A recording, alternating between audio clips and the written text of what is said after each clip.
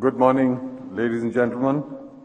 I have much pleasure in welcoming all of you to this 103rd annual general meeting of your company, which I declare open since the requisite quorum is present. May I now introduce to you my colleagues on the board who are present here on the dais. On my left, starting from the end, Mr. K.N. Grant, who is an whole-time executive director of your company. Mr. A.V. Girija Kumar, the non-executive director of your company. Mr. SSH, Rahman, non-executive director of your company. Mrs. director of your company. Mr. P.B. Ramanujam, non-executive director of your company. Mr. S.B. Mathur, non-executive director of your company. Mr. P.V. Dhobale, whole-time director of your company. On my right, starting from the end, Mr. Nakul Anand, whole-time director of your company. Mr. Robert Lerwill, non-executive director of your company. Mr. Banerjee, non-executive director of your company. Mr. S.B. Mainak, non-executive director of your company.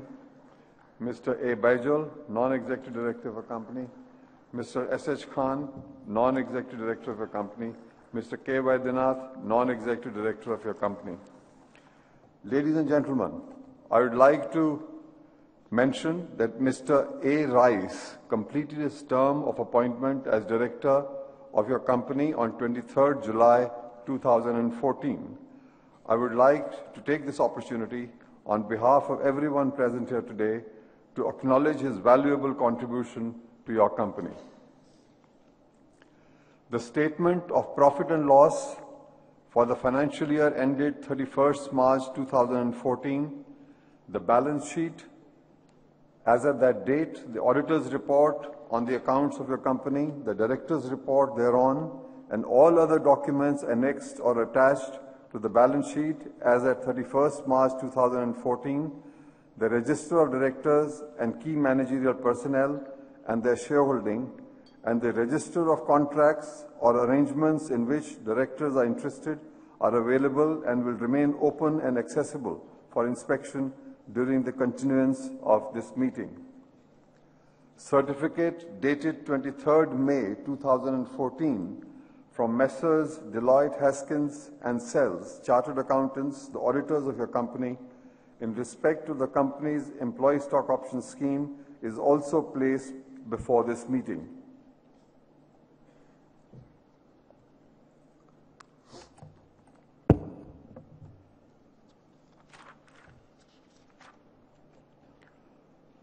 Ladies and gentlemen, in the best traditions of democracy, a new government was recently elected with a resounding mandate. Shri Narendra Modi's clarion call for development through good governance touched a special chord in the hearts and minds of people. His vision and persona has ignited new optimism among almost all sections of society. There's renewed hope that a new resurgent India will be built over time, bringing pride and dignity to all. The spirit embodied in Sabke Saath, Sabka Vikas indeed holds the promise of inclusive and participatory growth. This is potentially a turning point in history and an opportunity to collectively script a new destiny for our nation.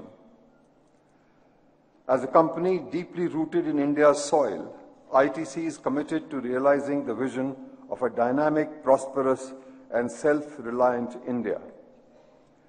It is your company's avowed mission to be a world-class Indian enterprise serving national priorities. This is manifest in your company's determination to go beyond the confines of business to create enduring value for the larger Indian society. It is with this strength of conviction in your company's values and vitality that I once again pledge ITC's fullest support to the new vision for fulfilling our shared goal of a new India of our dreams. It is indeed heartening that despite the constraints of time and a challenging economic environment, the Finance Minister, Sri Arun Jaitley, has presented a comprehensive maiden budget addressing key reforms with a welcome focus on physical and social infrastructure. This should lay the foundation for long-term growth whilst meeting some of the critical needs of the weakest in our society. As in earlier years, let me first share some of the highlights of your company's triple bottom line performance. Amidst a challenging economic context, your company recorded yet another year of strong performance. Gross income registered a new high at rupees 48,176 crores, while net profit increased by 18.4% to rupees 8,785 crores. The segment net revenue, other than cigarettes, has grown 16-fold since 1996 to rupees 21,845 crores. As a result, almost 59% of net segment revenue of your company is now from businesses other than cigarettes. This year, the FMCG industry in India witnessed a marked slowdown. Notwithstanding such an adverse operating environment, your company's new FMCG businesses recorded a robust growth of 16%, crossing the rupees 8,000 crore mark.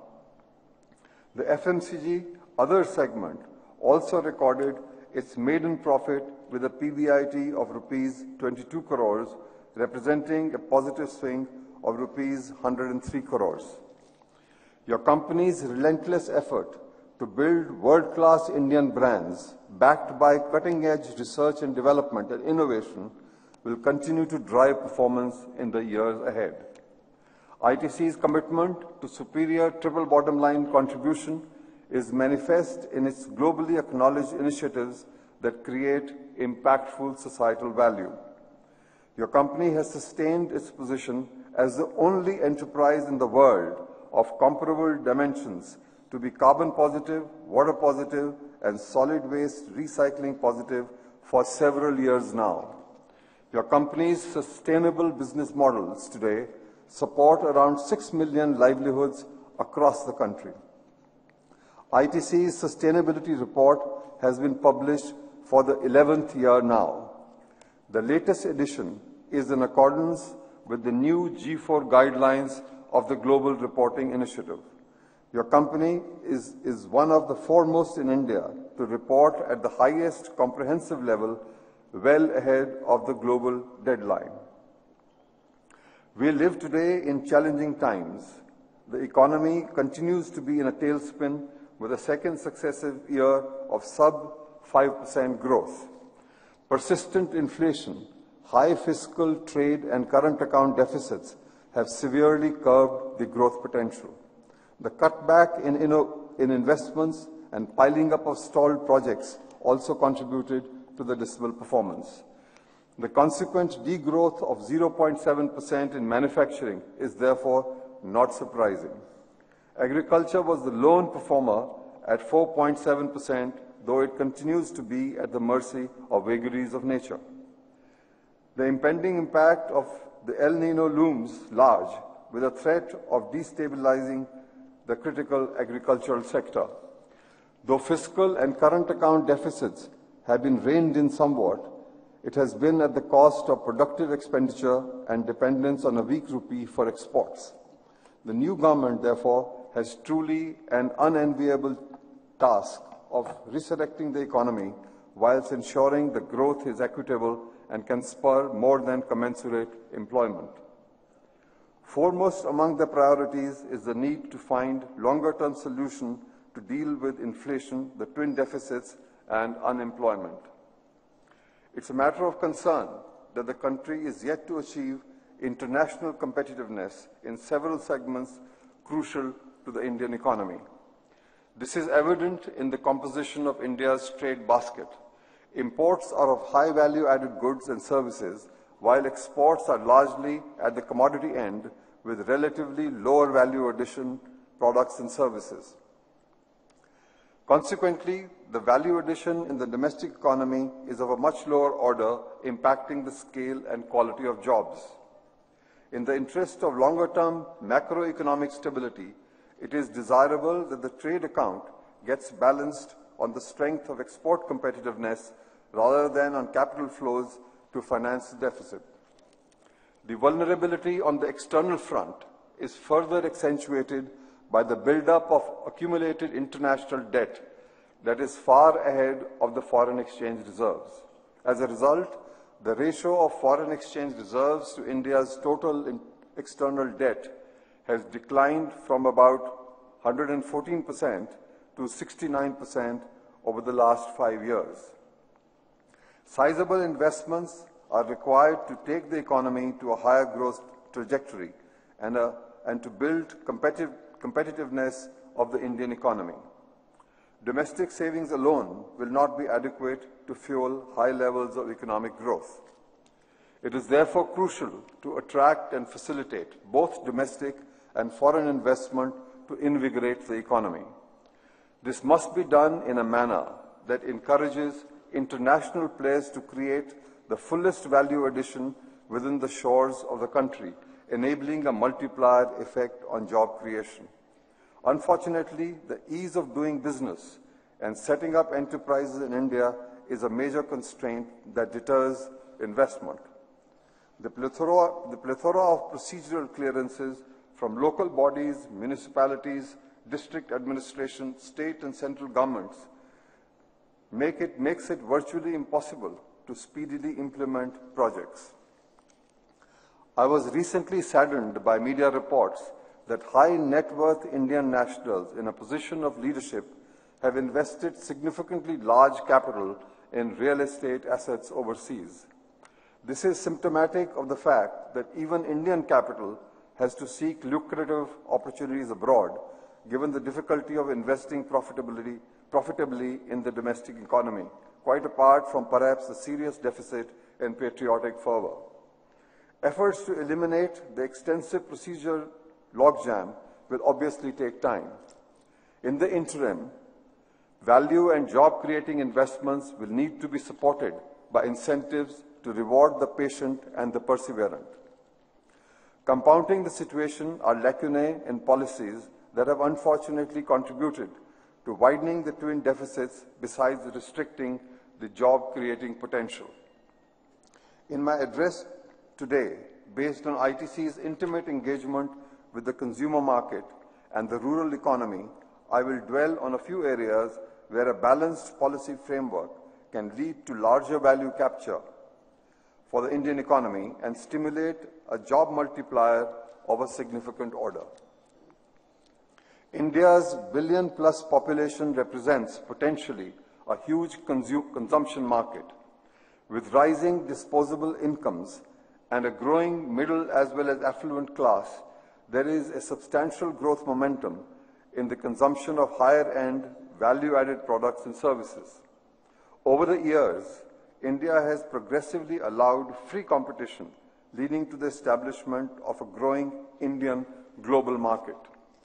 Dating back to pre independence days, and more so post liberalization, brands owned by foreign enterprises have held sway over this expanding market. Today, almost all the well-known international players market their brands in India. Consequently, a dominant part of the upper-end consumer spend has been captured by these brands. These range from high-end luxury products, white goods, consumer electronics, computers and branded software to items of daily consumption, including soaps, shampoos, tea, coffee, burgers, sanitary napkins, diapers, baby food, potato chips, and many more. The list is unending and includes even packaged idli and drinking water. In comparison, the share of domestic brands is modest and largely confined to markets characterized by lower income consumer groups with relatively much lower value addition. Many of the international companies operating in India, in part or full, on their global supply chains, rely in part or full on their global supply chains to service the Indian market. This is primarily due to the difficulties faced in establishing competitive manufacturing units in India. Therefore, their ready access to well-developed supply chains overseas, facilitated further by lowered import duties, makes international sourcing more attractive. As a result, the country's consumption basket has a large share of imports, either as finished products, sub-assemblies, or components. Thus, despite the presence of multinational entities in India, a substantial part of the value created remains outside the country. This is one major reason for the jobless consumption growth witnessed in recent times. For a developing countries like India, with millions in poverty and a young demographic profile that adds nearly 12 million to the job market every year, creation of sustainable livelihoods is a crying priority. From 2005 to 2012, only 2 million jobs were added annually, which is well below the asking rate. It is unfortunate that commensurate employment opportunities could not be created despite the high levels of growth witnessed in the economy during this period. The large growth in the consumption market was therefore unable to unleash an equivalent opportunity to reap India's demographic dividend. Multinational corporations possess the unique competitive ability to switch supply chains globally, depending upon currency fluctuations as well as opportunities arising from labor arbitrage. This does not always make for a stable employment opportunity and value addition in the domestic economy. International enterprises must therefore be encouraged to create supply chains in India that enable larger value capture in the domestic economy. This can be stimulated by widespread reforms that progressively create conditions for the competitiveness of enterprises operating in India, supported by a combination of tariffs and incentives to make value addition in India commercially compelling. The problem of jobless consumption growth, coupled with the widening twin deficits, got further aggravated by a change in policy regime in 2009, permitting limitless repatriation of royalty to overseas holding companies. It has been reported that such payouts have increased by 70% since then to reach nearly 40,000 crores of rupees. This outflow is equivalent to about 20% of India's annual foreign direct investment. This transfer attracts a much lower withholding tax of around 10%, given India's bilateral agreements across the globe, thus rendering infructuous the 25% tax imposed in the 2013 budget as a remedy. With consumption expenditure expected to grow from the current level of US dollars 1 trillion to US dollar 3.6 trillion in 2020, such unrestrained outflows can assume even more alarming proportions. The low rates of withholding tax on royalty payments will entail a considerable loss to the Indian exchequer, as this method of profit repatriation escapes the full income tax rate that Indian companies are subjected to.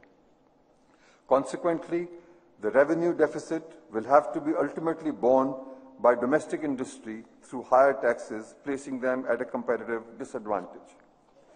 International enterprises compete with other global and domestic players for larger pie of the attractive Indian global market. Consequently, in their enlightened self-interest, they bring in brands, technology, and know-how to continuously enhance their competitiveness, market standing, and profits. Therefore, there is really no justification whatsoever to allow royalty, let alone limitless payouts, by the Indian subsidiaries to their overseas holding companies. This policy can thus become an instrument of tax avoidance, causing considerable injury to the exchequer and the Indian economy. Royalty payments should therefore be permitted only between unrelated parties based on purely commercial considerations with little or no governmental intervention. This will facilitate Indian enterprises in accessing intellectual capital to compete effectively with international players in the Indian global market. Such a policy framework will go a long way in creating a level playing field for Indian enterprises, besides ensuring that the twin deficits do not get further aggravated as India's private consumption market grows. The government has rightly identified employment generation and control of food inflation as issues of utmost priority. In this context, I would like to highlight today the potential of two sectors relating to the rural economy, namely food processing and agroforestry.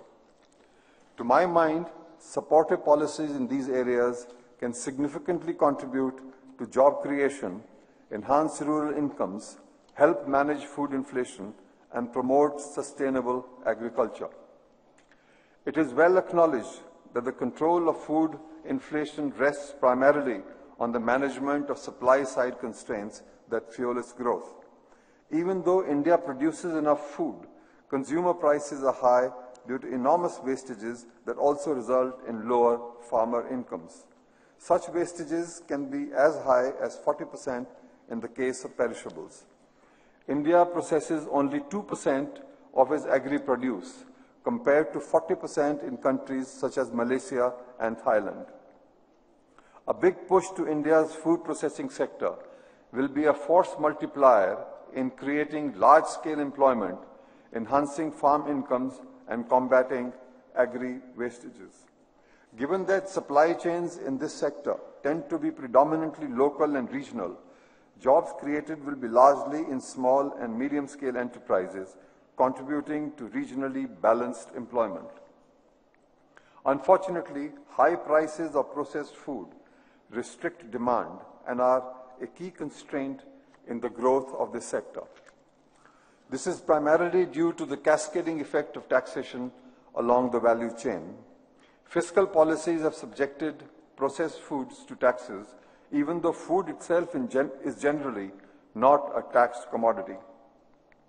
Consequently, there is lower demand from processed food, leading to lower investment in this very important sector. A paradigm change can take place if demand for processed food is substantially increased by lowering prices through a zero tax regime on this industry. This will help in paring down prices, enhancing demand, thus making it attractive for investment. A conducive policy can help create over 9 million jobs in the food processing sector, 60% of which can be in the rural and semi-urban areas. Over time, growth in the processed food sector will drive investment in the agri-value chain and lead to productivity enhancement and waste reduction. This will also stimulate creation of infrastructure such as cold chains, storage, and modern logistics. Together with other reforms related to agriculture, such as the Model APMC Act, improved access to quality inputs like seed, fertilizer, finance, irrigation, and extension services, this would enhance farm incomes and unclog the supply side bottlenecks to eventually control food inflation in a sustainable manner.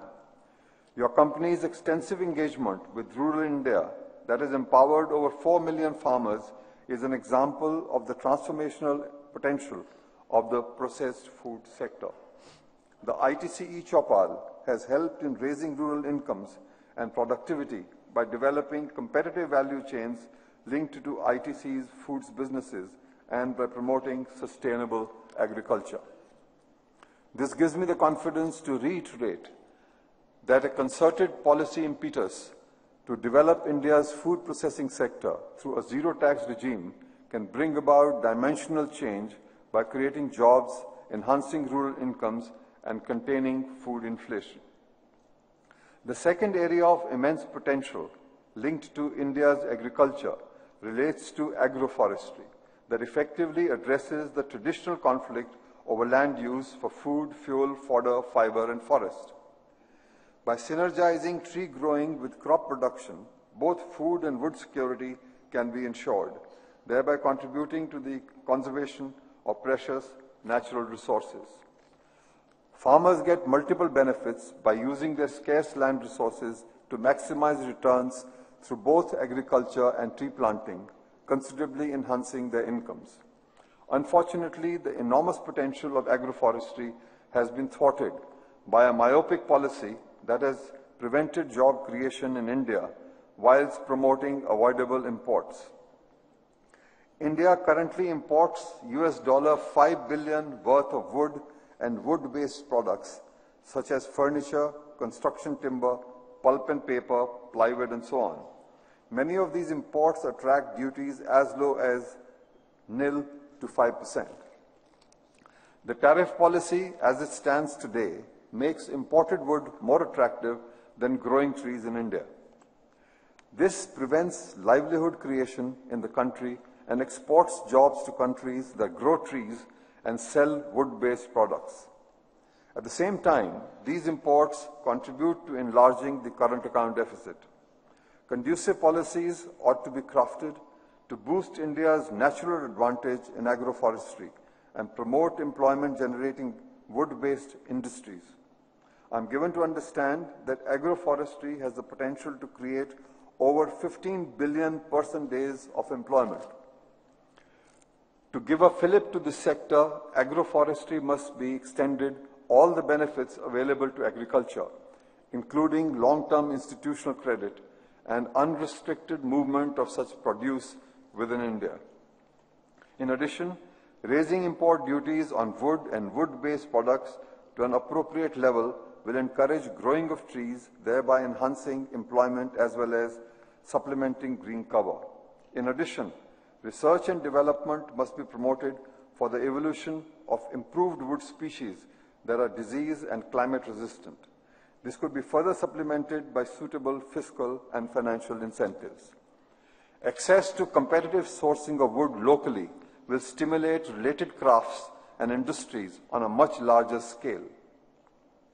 Agroforestry is also an important source of carbon neutral biomass energy, which can significantly reduce dependence on fossil fuels. Besides, it is an ideal source for distributed energy systems which can effectively meet the needs of smaller rural communities.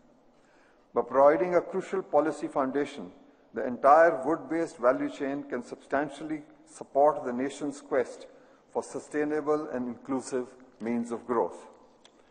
As you are already aware, your company's extensive social and farm forestry program has greened over 1,60,000 hectares creating over 7 million person days of employment. An innovative agroforestry initiative has further enhanced farm incomes, supporting sustainable livelihoods and maximizing productive land use. Your company's experience is a pointer to the tremendous opportunity that can be unleashed by conducive policy in this sector. In my address to you last year, I had emphasized that tomorrow's world will belong to those who create, own, and nurture intellectual property. Such assets indeed form a superior basis for sustaining competitive advantage over the long run. Ownership of intellectual capital will be the springboard that will propel India from a developing economy to a developed nation. It will transform the country from a provider of labor, commodities, and relatively lower value added goods and services to a position of leadership in innovation, thereby earning global respect. For a country with proven intellectual prowess, creative capacity, and entrepreneurial capability, it is a sad augury that the nation is bereft of globally competitive Indian brands. As a result, the country is rendered poorer by its inability to service even its own home market effectively. It is mission critical in my view today to create national champions who will build world-class Indian brands through ownership of intellectual property. It is only then that a virtuous cycle of innovation and investment will create new opportunities for growth with the generation of higher order sustainable livelihoods. The Honorable Prime Minister has articulated the government's resolve to revive brand India on the strength of five T's tradition, talent, tourism, trade, and technology. To that, I humbly add another T for trademarks. Indian trademarks that are manifest in world-class brands and built on the strength of superior intellectual property. A successful global brand is a badge of honor for the country it belongs to and a sustained source of wealth creation. Popular brands reflect the innovative capacity of the countries of their origin. When a country's institutions build world-class brands, they enrich their economies, enabling sustainable growth and higher income livelihood opportunities. I have confidence that Indian enterprises truly have the mettle to create world-class brands. Not very long ago, countries like Japan and Korea had a similar dream amidst every adversity. Today, their brands have conquered the world and earned global respect. Admittedly, building winning brands is not an easy task. Successful global brands have been steadfast in nourishing their consumer franchise through ongoing innovation and remaining well ahead on the learning curve. Therefore, the challenge of building brands in, com in competition with such established players is no mean task. The countries that have accomplished this seemingly impossible mission have done so through close collaboration between the governments and their companies over the long haul. Indian companies, on their part, must invest in cutting-edge research and development to build intellectual capital. The government can provide the right signals by refocusing the incentives to more result-oriented outcomes. Currently, weighted tax reduction on research and development expenditure is based merely on inputs without any linkage to outcomes in the form of consumer franchise. Such incentives are best linked to revenue generation through the sale of branded products. For instance, a percentage of sales of the Indian brands could be an effective basis for crafting the incentive. Your company has tirelessly endeavored to build world-class Indian brands. In a relatively short span of 10 years, a vibrant architecture of popular brands has been crafted organically. Some of them are already clear market leaders in their segments. In aggregate, these new consumer brands currently represent an annualized consumer spend of over 10,000 crores. Going forward, your company's foray into the dairy and beverages segment will further enrich this portfolio. Your company is committed to investing in India's future. You would be happy to know that 65 projects involving a built-up area of 28 million square feet with an outlay of over 25,000 crores are currently under implementation or in an advanced stage of planning. These projects are distributed across a majority of states and will create livelihood opportunities all over India. The shareholders present here today would be pleased to know that West Bengal has a high share of these projects with an outlay of over 3,500 crores, encouraged by the conducive policies of the state. Such assets will impart substantial strength to your company's competitive capacity. Therefore, it is my belief that your company can aim for a revenue of 100,000 crores from the new FMCG businesses alone by the year 2030 and realize its vision of being the number one FMCG player in India. It is a matter of pride that your company's brands have anchored the development of competitive value chains benefiting some of the poorest regions in the country. In conjunction with your company's social investment program for integrated rural development, these brands have enabled the empowerment of millions of disadvantaged in India's villages by generating sustainable livelihoods. Your company's CSR program includes farmer empowerment through the globally acclaimed ITC e-Choupal, large-scale watershed development, social forestry, animal husbandry, women's empowerment, and primary education, which together have transformed rural lives, winning global acclaim and recognition. India's challenges require a quality of growth that creates, captures, and retains larger value in India. It requires organizations to consciously strengthen value chains that extend to the country's rural areas and backward regions, empowering the weakest. Winning nations across the world, especially from emerging economies, have supported the creation of national champions who are prime drivers in creating sustainable wealth and livelihoods. Global winning brands such as Sony and Samsung are the fruits of that visionary support. It is time that India takes bold steps to create, nurture, and support many a national champion who will create enduring value for the country with passion.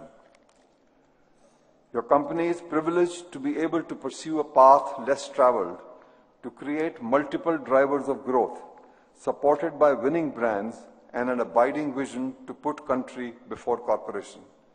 It is our collective aspiration that your company should be one such national champion in the service of the nation. In this journey, I draw strength from Team ITC and from their dedication and commitment.